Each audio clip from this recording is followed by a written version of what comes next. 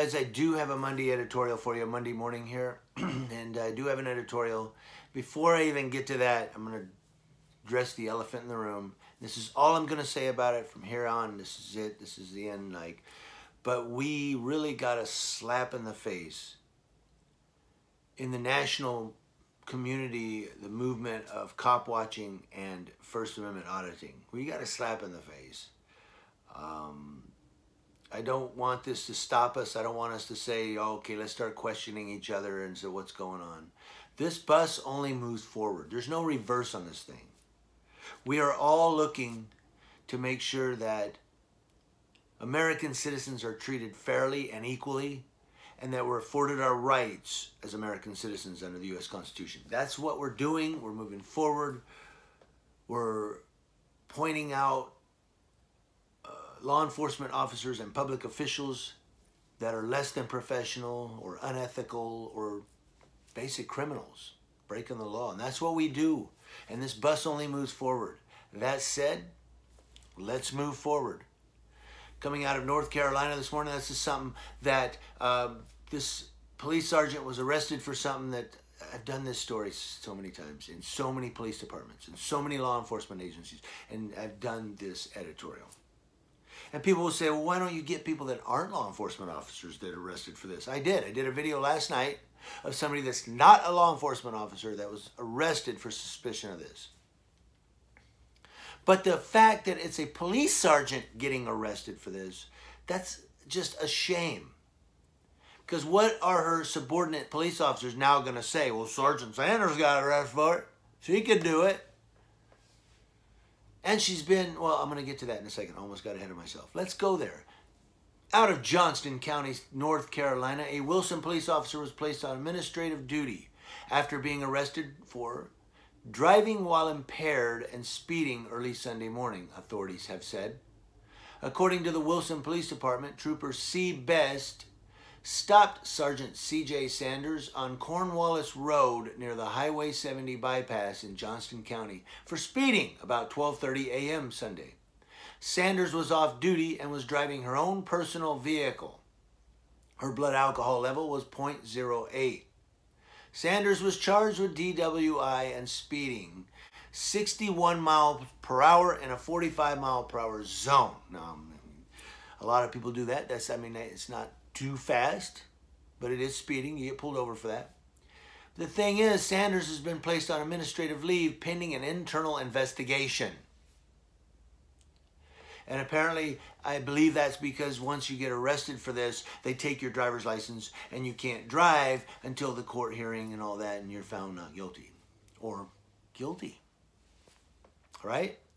So, no driver's license. So that's why she's on administrative duty. So now she either has to take the bus to work or ride a bicycle, or can she even ride a bicycle? Hmm. Yeah, I think she can because you don't need a driver's license. Or be driven to work.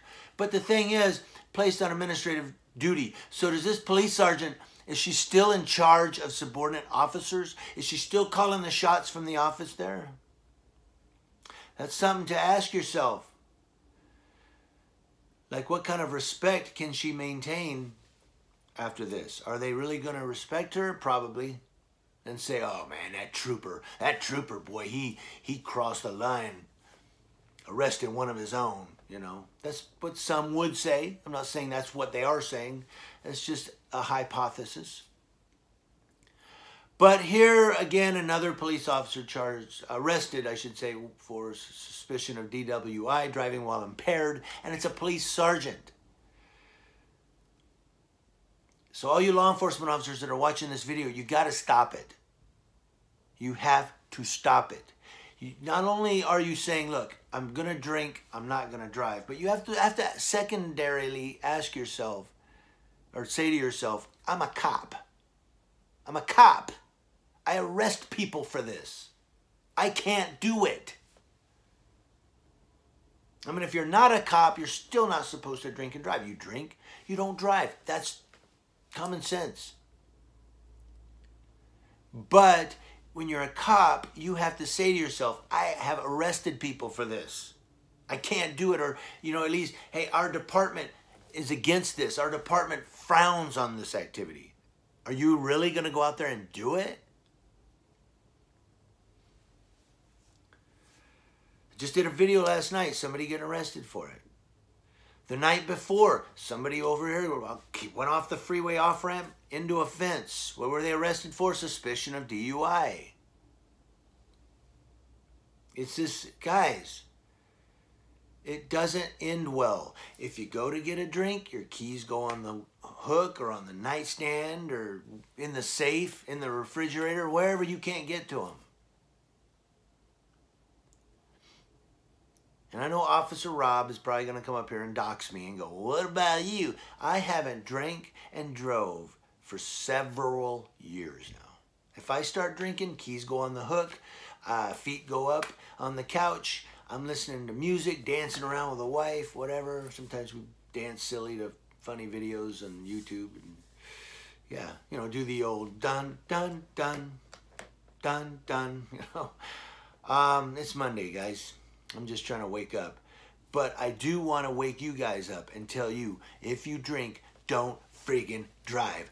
Wilson Police Department Sergeant CJ Sanders arrested, placed on administrative duty for it pending the internal investigation. I want to know, hey, what's going to happen with if she's found guilty and put on probation for it? Is she still going to be on administrative duty as a police officer? I want to know. It's just a misdemeanor, so it's not a felony. She can still carry her gun. Let me know what you guys think in the comment section below. As always, I will put a link to the whole story in the description box. Thank you. It's Monday. Let's get ready for the week.